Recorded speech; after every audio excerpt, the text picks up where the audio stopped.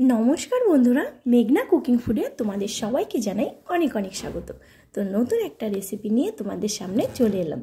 তো আজ আমি রান্না করব পুরনো দিনের একটা ঐতিহ্যবাহী রেসিপি তবে এটা রান্না করতে হবে না, এমনিতেই এটা তৈরি করে নেওয়া যাবে। বন্ধুরা, আজ আমি বানাবো কাঁচা মান কচু বাটা। তো চলো রেসিপিটা এবার শুরু করছি।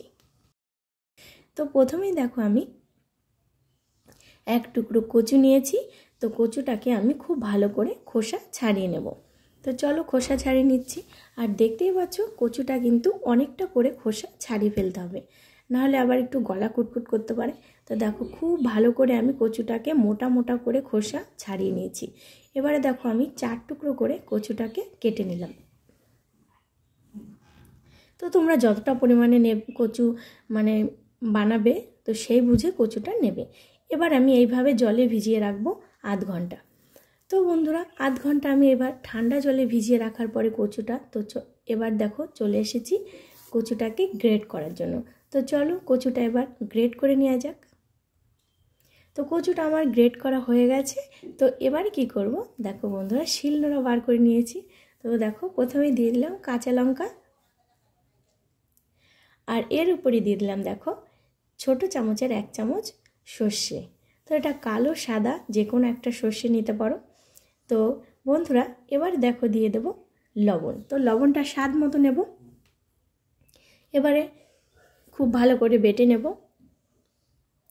আর এই রেসিপিটা খেতে যেমন স্বাদ, তেমনি গন্ধ।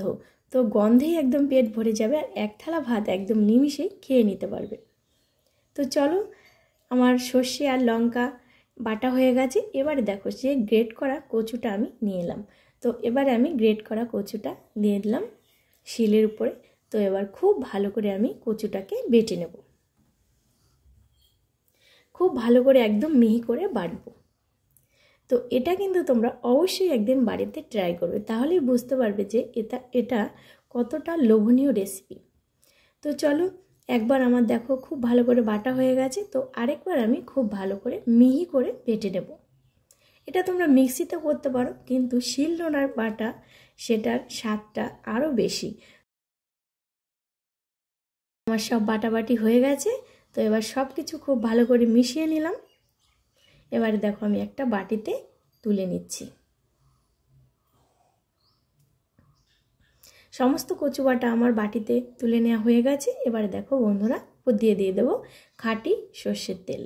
তো সর্ষের তেলটা একটু বেশি পরিমাণে লাগবে। দেখো, আমি দিয়ে দিলাম সর্ষের তেল। এবার একটা চামচ দিয়ে খুব ভালো করে তেলের সাথে কচু বাটাটাকে মিশিয়ে নেব। তো হয়ে গেল রেডি আমার কচু বাটা তো গরম গরম ভাতের সাথে এবার আমি সার্ভ করব কচু বাটাটা তো দেখো, দিয়ে দিলাম একটা কাঁচা লঙ্কা। এবারে আমি কচু বাটাটা দিয়ে দেবো। আর বন্ধুরা রেসিপিটা কেমন লাগছে অবশ্যই কিন্তু কমেন্ট করে জানিও। নতুন একটা ভিডিওতে তোমাদের সঙ্গে দেখা হচ্ছে। ততক্ষণে ভালো থেকো, সুস্থ থেকো, সুন্দর থেকো। বাই